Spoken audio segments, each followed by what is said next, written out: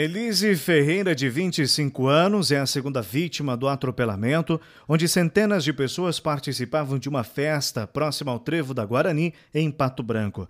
Este gol só parou depois de bater num poste a mais de 150 metros do local onde o atropelamento aconteceu.